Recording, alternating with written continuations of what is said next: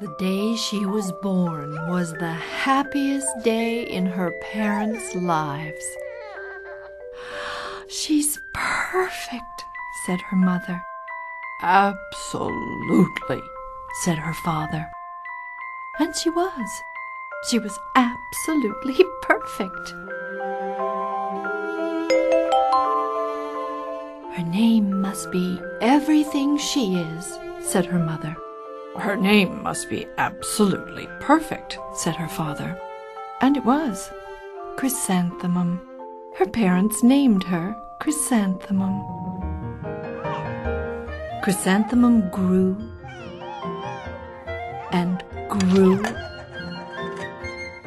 and grew.